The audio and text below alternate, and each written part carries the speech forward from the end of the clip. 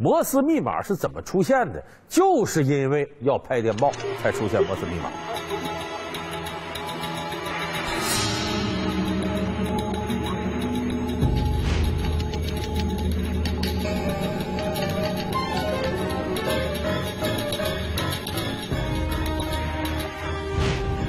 电报呢是一八三七年发明的。一开始电报是怎么传输的呢？它也是按照二十六个英文字母，它得是接收者和发出者那都有那么一组灯，二十六个灯泡，代表二十六个英文字母。比方说这个第三个灯闪一下子就代表 C，啊，第五个灯闪一下就代表 E。传过去之后，根据这个闪灯的先后顺序你记下来，然后组成单词。最开始是这么发电报，但时间长了，觉得这种方式太费事了，所以琢磨有没有更简便的传输信息的方式呢？哎，这个时候有个人出现了。这个人呢叫萨缪尔·摩尔斯。哎，你看摩斯密码，摩斯密码嘛就是他发明的。这个人本来是个画家，他跟一位科学家接触呢，开始研究电流，他就发现这个电流啊，很快能通过。而且停顿一会儿，这电流就会产生火花。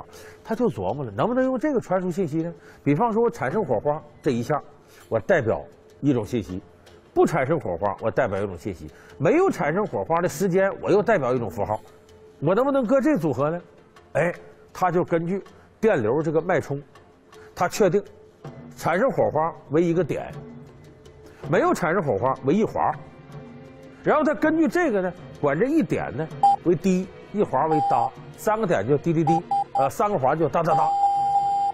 哎，他根据这个用时间和这个点环来代表二十六个字母和阿拉伯数字。这样的话，就等于通过电流脉冲的方式，通过时间的这种顿挫，来把二十六个字母表示出来，比原先亮灯的要省事多了。所以他发明这个，被当时称为以他的名字命名——摩斯密码。开始叫摩斯电码。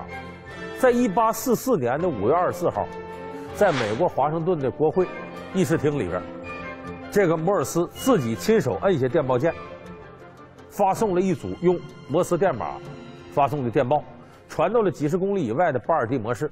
他那边他的学生在那儿，马上快速的把这组电报根据滴滴答答答答滴滴滴这节奏翻译下来，是一句什么词儿呢？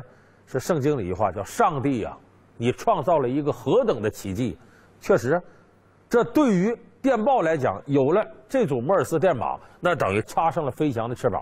自那以后，电报业才在世界范围被广泛的应用。